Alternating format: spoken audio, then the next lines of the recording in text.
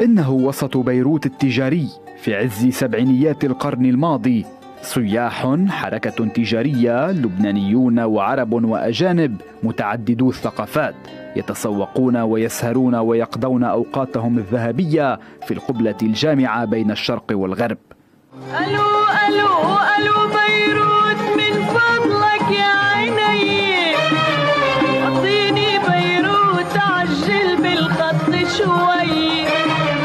ولكن ماذا عن خط بيروت اليوم؟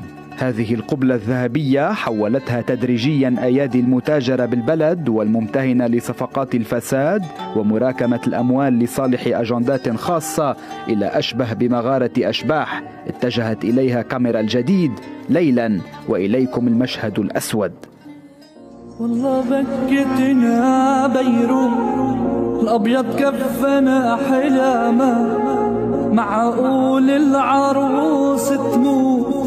تدبل زهرة أيامها حتى في أوج تشنجات الحرب اللبنانية لم يصل الوسط التجاري في بيروت إلى الدرك الذي وصل إليه نتيجة أزمة 2019 وانفجار المرفأ.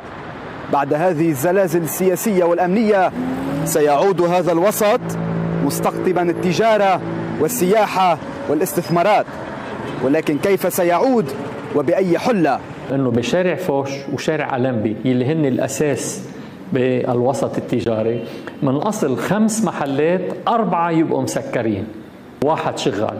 لحديد من شي سنة تقريبا الحركة رجعت بشكل خفيف ولكن سنة ال 23 أسواق بيروت اللي هي بتجمع تقريبا 200 محل تجاري فتح منها شي 50 واليوم متوقع إنه يفتح فوقها شي 100 إضافة.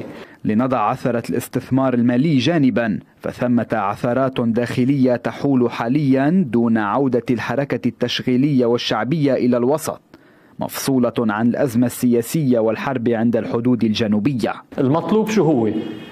ال يعني أصحاب الملك اكان سوليدير أو ال الأفراد أو ال خلينا نقول الأوقاف الدينية هي تساعد شوي التجار والمطاعم في الديكور. يعني أنت عم تحكي مئات ألوف أو ملايين الدولارات للمحل الواحد أو للمطعم الواحد.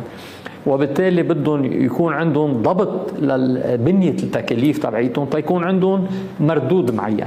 في لحظة الجلوس على الطاولة وإحلال الاستقرار سيضخ الأكسجين في رئة العاصمة مجددا.